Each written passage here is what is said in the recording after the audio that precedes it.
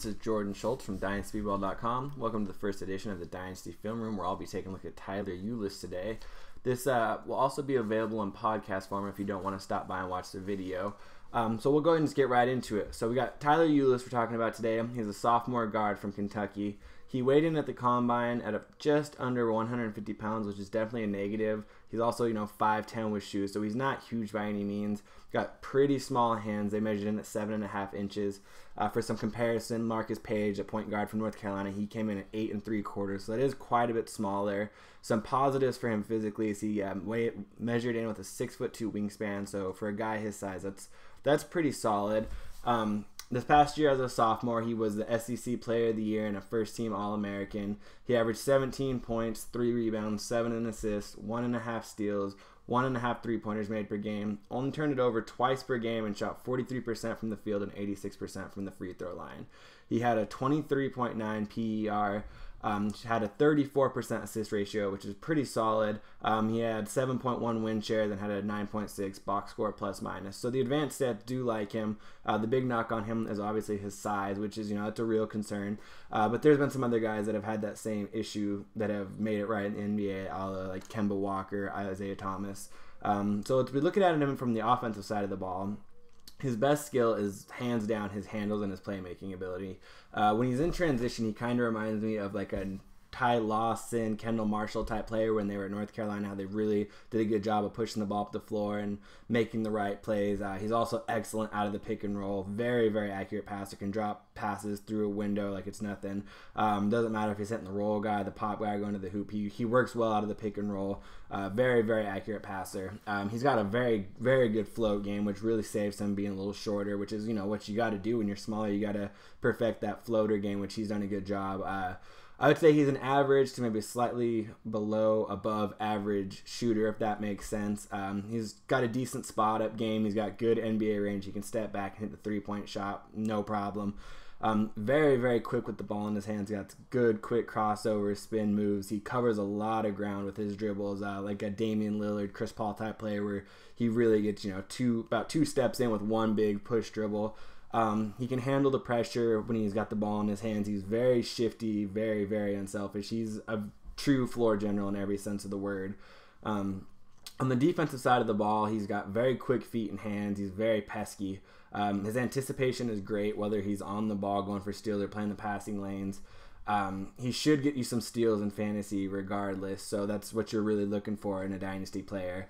Um, overall, you know, he plays with an edge. He's always been a short guy, so it's not like he's going to get to the NBA and all of a sudden be short. He's he's been short forever, and he's obviously made it this far. So I'm not really too worried about the size. I mean, obviously it's something you have to take into consideration, but I think if he lands in a good spot where he can get minutes, I think he's going to put up fantasy numbers for you. Um, he's you know he's got good NBA skills from a basketball perspective. The one downside is his size. Uh, if I was him, and I'm sure he's already doing it because he's a very heady player, he should be studying up tape of you know Isaiah Thomas, Kemba Walker, seeing what they've done that has made them successful, and trying to take parts of their game and apply it to him. Um, I mean, he plays with heart. He could fill in and be one of the best backup point guards in the league. I feel pretty confident saying that if he gets in a good situation. Um, if he continues to perfect his craft and really learn to use his body and his quickness and his shiftiness, he could come and develop into a, like a, you know, I'd say an average NBA starter on a good NBA team. Uh, regardless, he should put up some good fantasy numbers for you. He's definitely worth a flyer in Dynasty. You're probably not going to have to invest a high first round pick onto him. So if you can get him in the second round or later, I think he's got more upside than a lot of the guys you're going to get at that range in your Dynasty drafts. Um, it could really have an Isaiah Thomas like payoff in a few years. I think he's got that type of upside. You know, he's a motor. He's got a good motor. He's a worker. So that's not too big of an issue. Um, so the one thing about his NBA draft, it's you know he's got a very wide projected range of where he's going to go. I've seen him, you know, getting picked as high as late lottery and then dropping all the way into the second round. If that happens, if he falls to the second round, I think he's going to be the biggest steal of the draft. He's going to be that Isaiah Thomas type player you look back at in a few years and you know like wow that guy was a steal. Um, if that happens, uh, I mean, you're going to feel real excited about that because you're going to be able to get him even later in dynasty drafts, which is awesome. Because, like I said, his upside is higher than a lot of the guys you're going to get outside of the first round.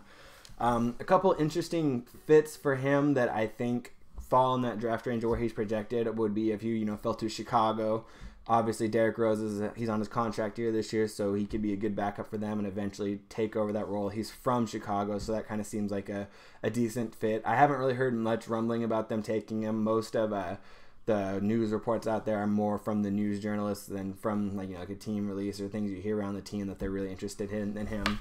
Uh, some other fits that I think are interesting would be Memphis. Obviously, Mike Conley's a free agent, so there could be a new, brand new point guard there, and that could be a good spot for him to step in and take that. Um, if Marc Gasol is healthy, that's he's got some good weapons surrounding him.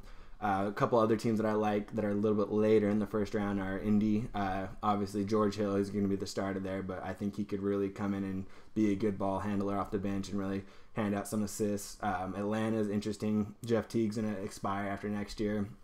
You've already heard a lot of talk about him potentially being traded, so that could happen.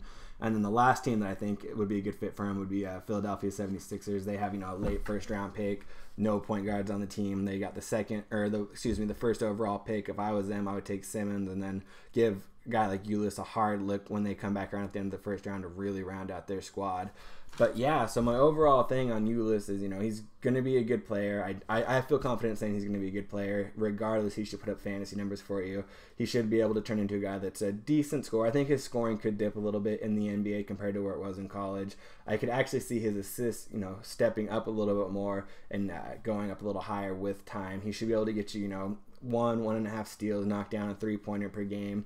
Uh, excellent free throw shooter. You, the one thing I worry about him is that he could shoot kind of a lower field goal percentage. He wasn't a high percentage player in college by any means, but I think he's got enough upside that he could turn into a player that you could overlook that. Uh, he did a good job taking care of the ball, only had two turnovers per game. So I think he could very much turn into an Isaiah type player with maybe not as much offensive chops, but I think he could be an even better playmaker.